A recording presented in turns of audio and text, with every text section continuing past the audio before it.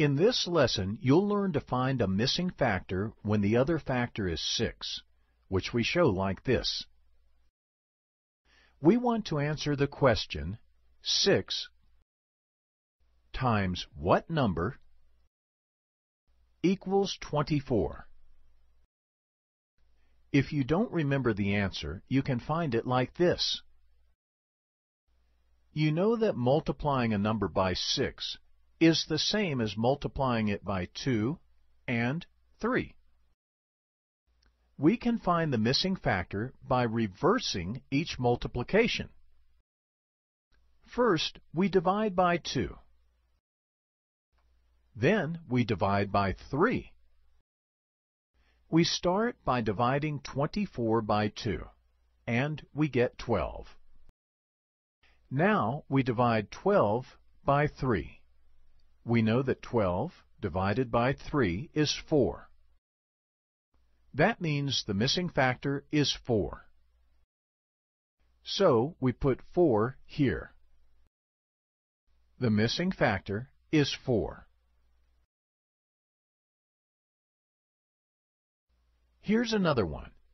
6 times what number equals 42? We want to answer the question 6 times what number equals 42?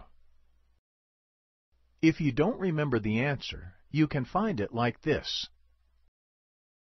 First, we divide 42 by 2, and we get 21. Now we divide 21 by 3, and we get 7. That means the missing factor is 7. So we put 7 here. The missing factor is 7. Here's another one. 6 times what number equals 36?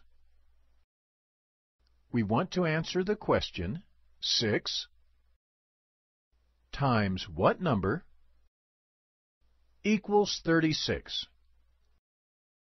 If you don't remember the answer, you can find it like this. First, we divide 36 by 2, and we get 18. Now we divide 18 by 3, and we get 6. That means the missing factor is 6. So we put 6 here. The missing factor is 6.